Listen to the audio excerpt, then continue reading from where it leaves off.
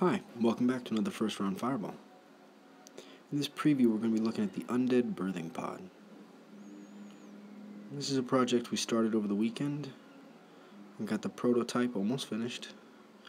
Uh, I really like the texture, the way this is coming together in general, and more than anything, I kind of like the idea of a divine trap uh, for divine casters, something to tinker with on the battlefield other than just healing people.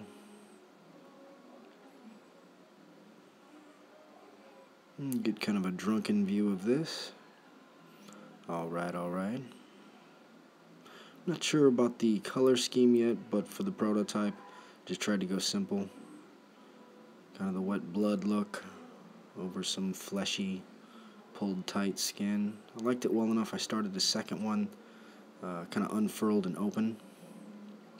If you have any suggestions, uh, feel free. Thanks again. See you next time.